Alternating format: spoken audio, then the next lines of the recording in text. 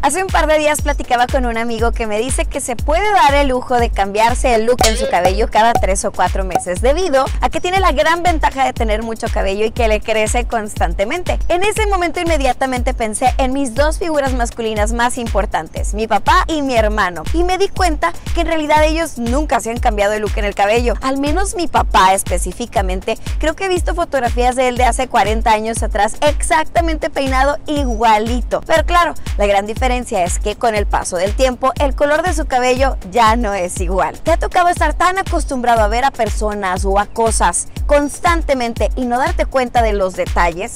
Bueno, pues el día de hoy de eso te voy a hablar. Soy Rocío Madrid y este es mi blog con sentido. Te voy a poner un ejemplo que es muy fácil. Tu casa esa casa a la que vas todo el tiempo, de mañana, de tarde, de noche, eh, cuando está lloviendo, cuando está haciendo mucho calor, cuando está haciendo viento.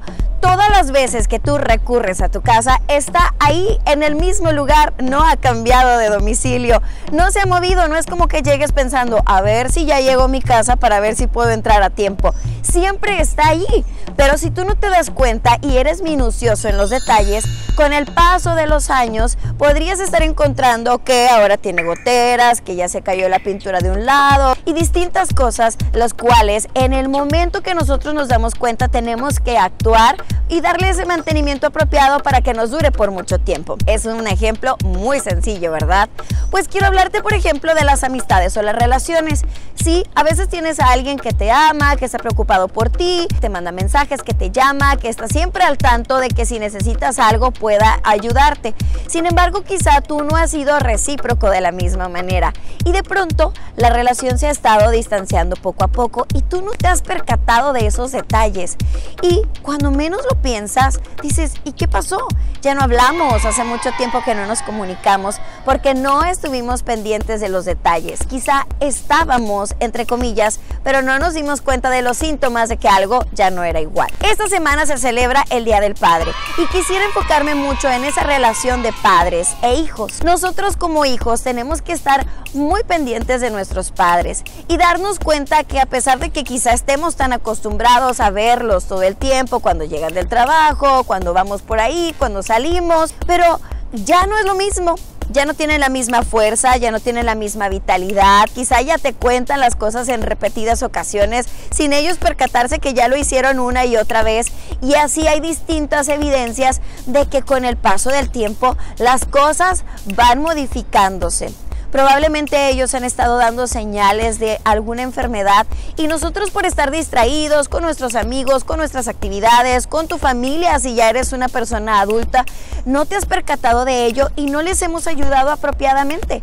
La Biblia nos dice, hijos, honra a tu padre y a tu madre para que te vaya bien. Y el honrarlos es también cuidarlos y estar al tanto de ellos. Padres de familia, ¿qué decir de ustedes? Con sus hijos. Muchas veces la tendencia es preocuparse por el sostenimiento del hogar, aunque no en todos los casos es así. Sin embargo, algunos piensan que por tener todo pagado y todo cubierto, eso es lo más importante para los hijos, pero estás muy equivocado. Recuerda que necesitas ser un padre presente en la vida de ellos. No solamente ver, sino observar. No solamente oír, sino escucharlos y darte cuenta de los cambios que ellos están teniendo en cada etapa de su vida.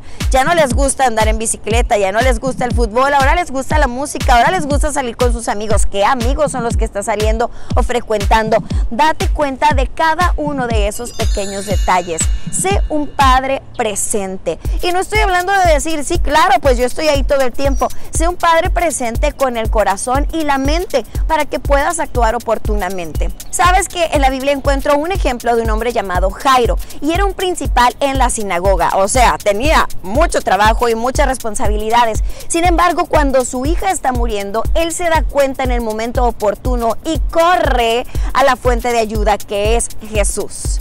Y claro, esto me habla de un hombre que estaba presente en su hogar. Y la gran ventaja de ser una persona presente es que puedes percatarte cuando las cosas se están saliendo de control. Puedes darte cuenta cuando tus hijos ya no son los mismos, cuando tienen un carácter diferente, cuando se están juntando con personas inadecuadas y correr a la fuente apropiada, correr a Jesús y pedir ayuda y traer algo de vida a tu hogar cuando hay cosas que se están muriendo. Quizá las relaciones, quizá ya no hay paz. Yo no sé qué puede estar muriendo en tu hogar, pero un padre presente se va a dar cuenta en el momento oportuno.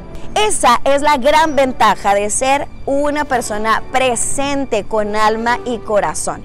Porque si no lo hacemos de esa manera, no actuaremos en el momento oportuno, en ese instante apropiado. Tenemos que cuidar de todos esos detalles que están pasando.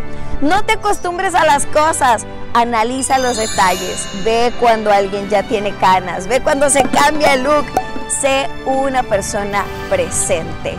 Soy Rocío Madrid y espero que este vlog te pueda servir. Dale un like, un me encanta, compártelo con tus amigos por favor y suscríbete a mi canal de YouTube y también desde luego a mi página de Facebook. Y ahora mi tiempo para presentarte a mi patrocinador.